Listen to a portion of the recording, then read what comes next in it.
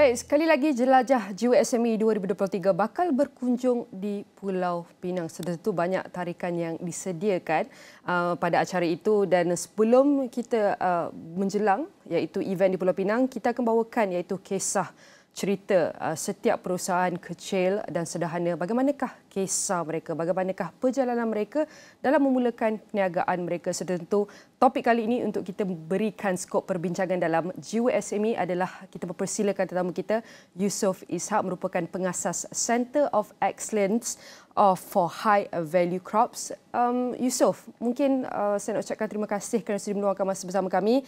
Uh, mungkin Yusof boleh kongsikan uh, bagaimanakah permulaan um, how do you start dengan perusahaan pertanian rock melon ini Okay, terima kasih Astro atas apa jemputan untuk um, berkongsi sedikit uh, cerita tentang apa pertanian ni. Eh. Dan uh, kalau kita tengok uh, recently macam kes apa nama shortage of makanan apa semua ni, dia menjadikan industri pertanian ni satu benda yang yang penting lah untuk untuk negara kita.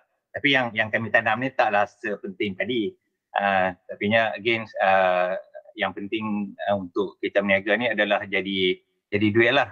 Jadi the challenge is macam mana nak nak nak uh, transform uh, hasil pertanian tadi jadi jadi jadi jadi dalam bentuk uh, pendapatan secara tetap lah. Jadinya masa kita start uh, apa nama pertanian ni memang background pertanian pun saya ni jadi kalau sebelum ni pun saya pun uh, apa nama terlibat uh, kerja dengan kerajaan juga. Jadi ambil ambil keputusan kata berhenti uh, buat uh, pertanian secara secara serius besar-besaran. Uh, jadinya tu yang yang startnya dan saya pendek masa start start tu lah ya, PKP. Jadi masa PKP tu memang masa banyak peluang jadi boleh diguna sepenuhnya untuk develop apa nama uh, kebun lah dan dia jadi kebun yang sangat-sangat cantik lah uh, macam tu ya yang kalau saya boleh boleh kongsikan. Kita pun boleh uh, saksikan uh, pencapaian uh, Rock Melon ini. Okey, kita bercakap mengenai uh, perusahaan pertanian ini uh, bukan semua uh, iaitu ramai yang suka menyertai bidang ini. Mungkin uh, Yusuf boleh kongsikan antara aspek perusahaan pertanian yang disalah anggap oleh uh, orang awam. Tetapi sebenarnya ada keunikan dan tarikan tersendiri. Bagaimana Yusuf? Uh, pertanian sebagaimana juga industri yang lain, kalau kita uh, kena bila kita once kita terjun kita kena serius.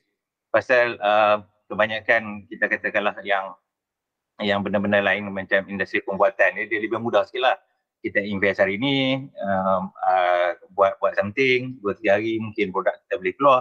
Uh, tapi sedangkan kalau kita buat uh, apa nama tanaman kalau kita kata rock melon uh, ingat paling cepat ada variety dia kita boleh harvest dalam masa 50 hari ada yang 75 hari dan tu ada variety lah Uh, jadi cabaran dia adalah menjadikan diri kita cekap pasal kita sentiasa kena ingat kata uh, pertanian adalah satu industri yang sukar dia dia, dia sukar. Jadi uh, benda sukar ni tak sukar. Jadi uh, kita yang kena uh, jadi makin cekap kan. Jadi dia nampak mudah at the end.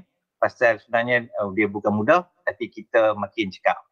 Lebih kurang itu kalau kalau sesiapa yang berminat bidang pertanian ni dia kena kena tanam dalam minda dia uh, kata industri yang diceburi itu uh, dia tak semudah macam mana dia nampak.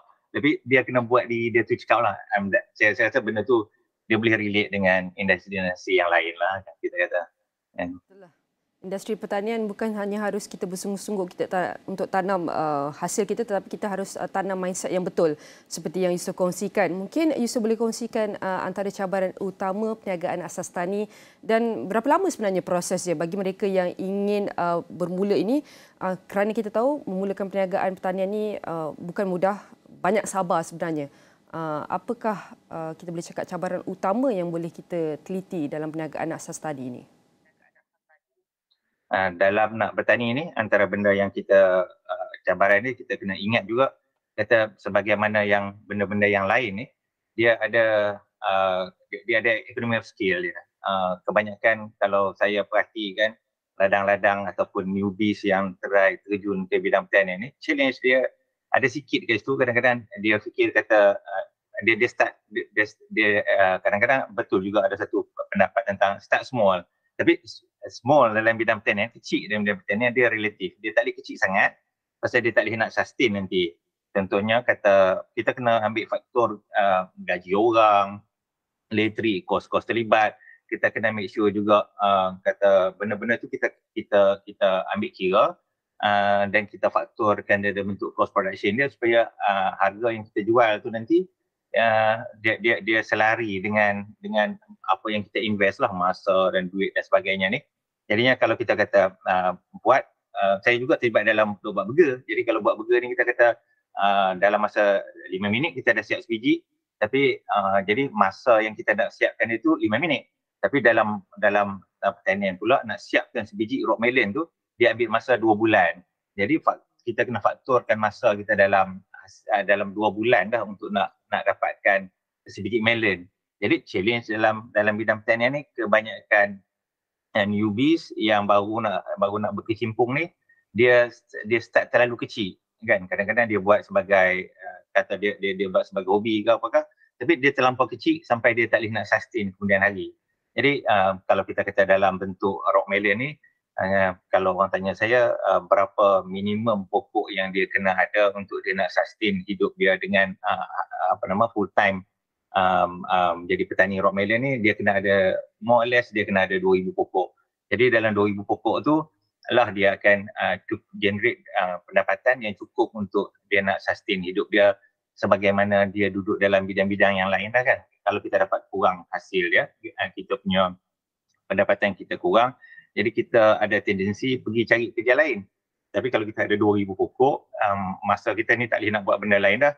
Jadi kita akan fokus dekat dekat tanaman kita. Biasanya kalau kita fokus 100% dan biasanya orang kata lah apa um, usaha tu hasil tu dia, dia tak akan dia akan berbalik kepada usaha yang kita bagi dekat kebun kita lah kan uh, jadinya kalau kita jaga pokok elok hasil dia pun tentu elok uh, kalau daripada segi uh, pendanaan uh, mungkin boleh kongsikan mengenai peluang yang disediakan oleh uh, kerajaan dan agensi dalam sektor pertanian uh, secara khususnya uh, kita bercakap uh, modal lah. Mungkin kos tu adakah mula daripada Encik Yusof sendiri ataupun modal atau certain kos tu datang daripada sokongan bantuan kerajaan ataupun agensi bagaimana?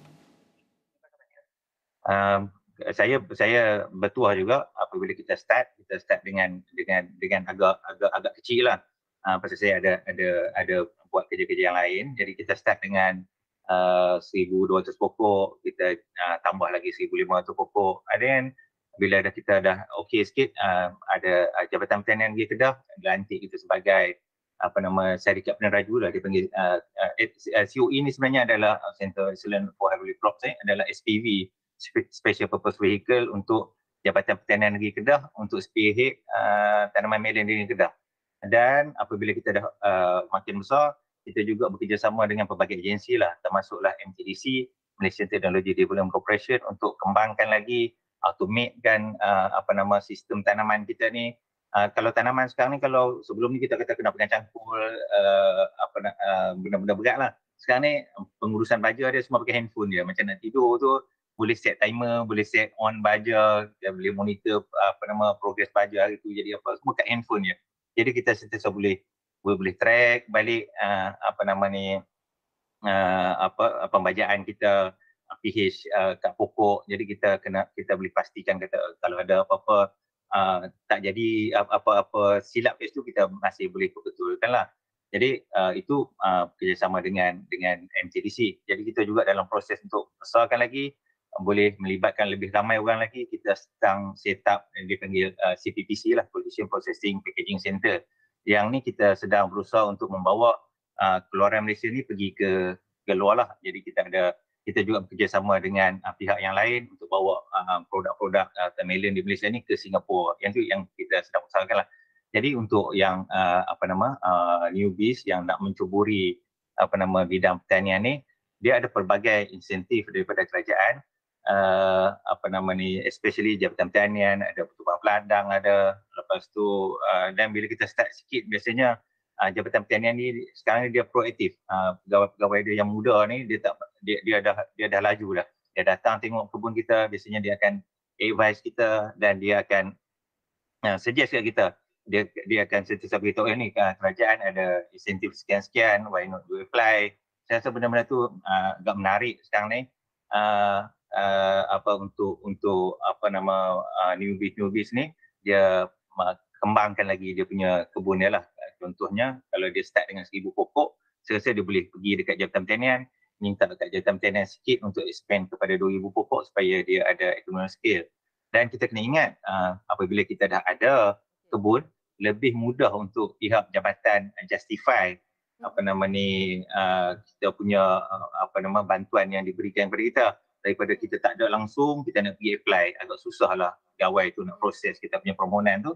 Pasal background kita tak ada. Tapi kalau kita ada sikit mhm. rasanya lebih mudah untuk dia buat justifikasi membantu kita berkembang. Macam tu. Macam saya pun uh, menggunakan kaedah yang sama jugalah. Buat sikit dulu. Apabila dah establish sikit and then uh, jabatan yang datang apa nama MTDC datang. Lepas tu ada juga program. Uh, kita buat program apa nama ladang kontrak. yang menarik uh, yang dikongsikan uh, oleh Yusuf uh, Ishak merupakan pengasas Center of Excellence for High Value Crops. Dan untuk anak muda yang uh, berminat untuk menyertai uh, bidang pertanian ini kita tahu dengan perkongsian Yusuf sendiri bahawa adalah antara cabaran yang perlu kita tangani dan banyak usaha yang perlu dilakukan dikukuhkan lagi untuk kita bergerak ke hadapan dalam menangani uh, apa jua keadaan terutama dalam untuk membangunkan perusahaan uh, pertanian ini? Sekali lagi saya ucapkan terima kasih kepada Yusuf Ishak merupakan pengasas Center of Excellence for High Value Crops. Dan jelajah jiwa SME di Pulau Pinang bakal berlangsung selama dua hari di Ion Mall Bukit Merah Jumpa anda pada 21 dan 22 Oktober ini.